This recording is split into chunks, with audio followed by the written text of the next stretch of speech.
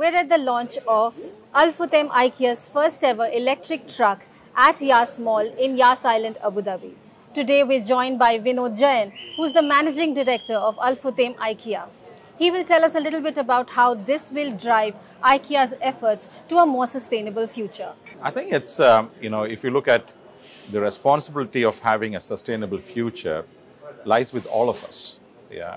We are using this uh, event to demonstrate our commitment to environmental stewardship, also our alignment to the UAE Ministry of uh, Energy's commitment to have all the vehicles uh, that is running on the UAE roads, uh, the electric vehicles to constitute 50% of all the vehicles that are running on UAE roads mm-hmm. by 2050.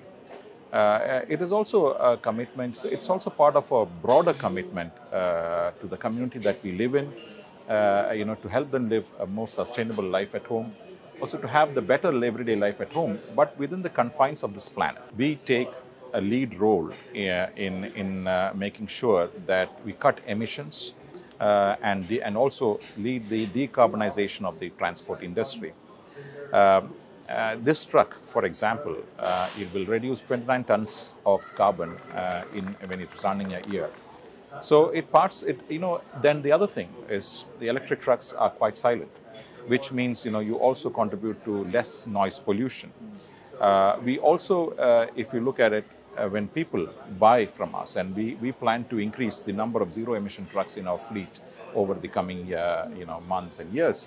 So you know we want also the customers to understand that when they buy furniture from us, you know they, it is going to be delivered in a sustainable way, which is not harming the environment, and it's it's part of our commitment to the people uh, uh, uh, who live in the markets that we operate in. Our aim is to make sure that uh, we reduce our uh, carbon emissions uh, by 50% by 2030. that's a that's an ambitious goal, but if you you know they say if you aim at the sun, you reach the moon. So so we have to make sure that we stretch ourselves, aim aim for you know stretched goals, and we're confident that we can achieve that.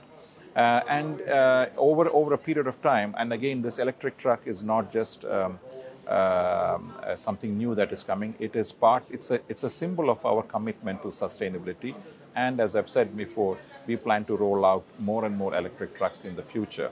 And by 2030, when we reduce our carbon emissions by 50 percent, mm. that means we will reduce our greenhouse gas emissions more than what our entire supply chain, uh, you know, uh, emits. Sustainability is good for business. the trucks, you know, they are very uh, you know, cost efficient over a longer term because there is no fuel cost. These trucks also have, you know, especially the engine parts are the most uh, used parts and most movable parts, and it has less of these movable parts. That means less repairs, less repairs, less maintenance. So even from a cost perspective, the electric trucks uh, are much more cost efficient in the longer term than uh, our uh, regular trucks.